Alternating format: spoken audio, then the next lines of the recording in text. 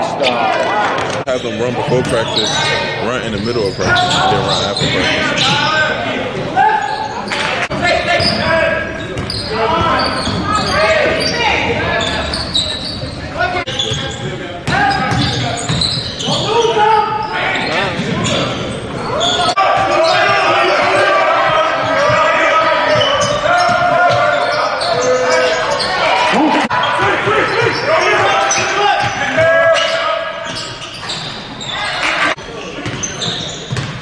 Charge!